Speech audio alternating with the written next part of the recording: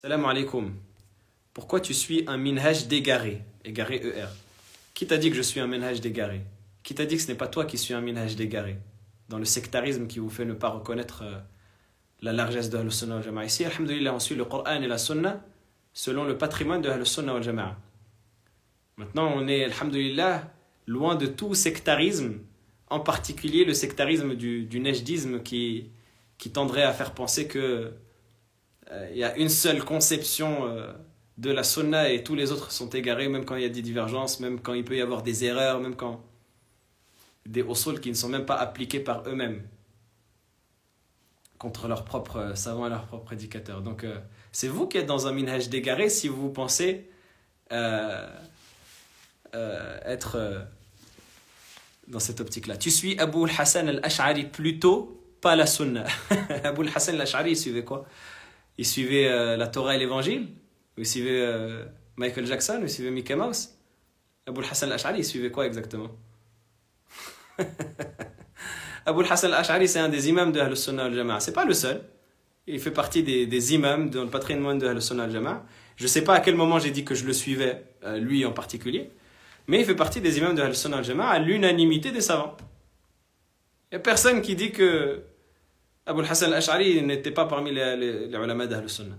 Après, oui, est-ce qu'il s'est repenti, il s'est pas repenti, blabla. Ça, c'est, c'est euh, un débat qui est byzantin. Mais Abu Hassan al-Ash'ari fait partie des imams d'Ahl Sunnah. Donc, euh, c'est vous qui ne connaissez pas les imams d'Ahl Sunnah. C'est vous qui ignorez ce que c'est Ahl Sunnah. Vous ne connaissez pas Ahl Sunnah. Wallahi al ces gens-là, si on leur demande de citer Ahl Sunnah, des savants d'Ahl Sunnah al-Jama'a, il va citer trois savants parmi les contemporains il va citer un du XIIe siècle, et après, silence radio. Ah, erreur 404. Erreur 404. Il ne sait pas euh, citer les, savants de Ahl-Sunnah al-Jama'a. Il ne connaît pas les savants de Ahl-Sunnah al-Jama'a. Et même les savants de qui il prend, il a l'imam Nawawi dans sa, dans sa bibliothèque. Il a l'imam Suyuti. Vous savez, des fois, ils, ils, mettent des listes. Des listes avec des savants et des prédicateurs. Moi, ça m'a fait rire de voir l'imam Suyuti dedans. il représente tout ce qu'il pourrait considérer comme étant une bid'a. L'imam Suyuti, que c'était un grand savant dans le fiqh shafi'i, dans le hadith, il a des erreurs, comme tous les savants. Mais c'était un grand savant. Et ils le mettent dans... Parce que tellement ils n'ont pas de savants parmi les... Si on dépasse les deux derniers siècles, Wallah, ils n'ont pas de, ils n'ont pas de référence. Wallah, ils n'ont pas de référence. Ils n'ont pas de référence. Leur chaîne de transmission, s'arrête à 1200, euh, en l'an 1200 de l'Égypte. Après cela, il n'y a plus de référence.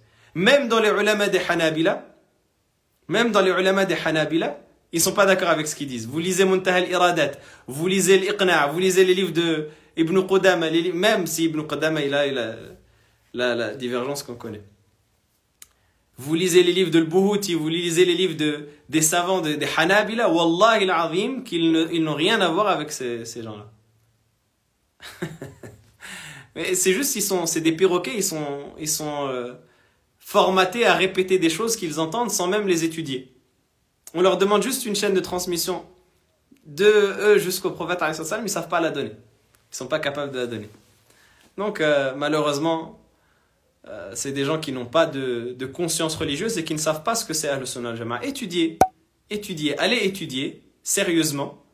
Sortez de, quand, vous étudiez la aqidah, quand vous étudiez le fiqh, quand vous étudiez euh, le hadith, sortez des références sectaires que vous avez. Quand je dis sectaire, c'est malgré le fait qu'on respecte les, les, références en question, mais le fait d'enfermer et de limiter le patrimoine d'Ahl Sunnah à ces références malgré le fait qu'elles peuvent elles-mêmes avoir des erreurs. Ibn Taymiyyah avait des erreurs, Ibn Qayyim avait des erreurs malgré le fait que c'est des grands savants qu'on respecte et qu'on met sur notre tête. Mais c'était des, des, savants qui pouvaient avoir des erreurs et qui ont même eu plusieurs erreurs en ce qui concerne Ibn Taymiyyah.